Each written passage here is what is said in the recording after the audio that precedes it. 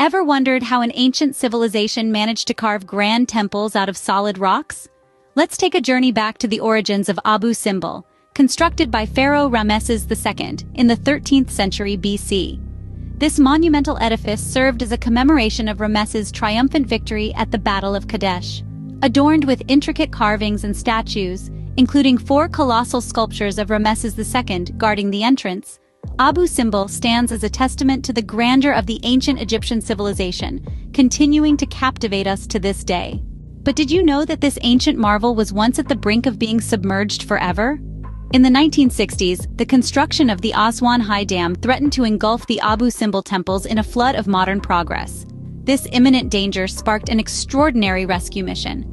UNESCO, in a remarkable display of international cooperation, led an effort to save this precious piece of human history.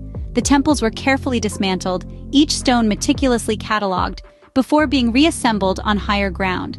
This was no small task. It was an engineering feat as impressive as the original construction of the temples. But the world had spoken in a unified voice. Our shared history is worth preserving. The successful relocation of Abu Simbel demonstrated the global commitment to preserving our shared human heritage. Today, Abu Simbel stands not just as an iconic historical site, but also as a symbol of human ingenuity.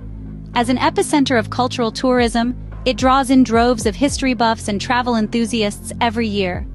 The grandeur of the temple complex, nestled between the sandy cliffs and the sparkling Nile, is truly a sight to behold. And let's not forget the Sun Festival, a biannual spectacle that marks the two occasions each year when the sun's rays reach into the temple's inner sanctum, illuminating the statues within. The festival attracts a global audience, amplifying the site's allure. From its ancient origins to its modern-day significance, Abu Simbel continues to weave its magical allure, a timeless testament to mankind's brilliance.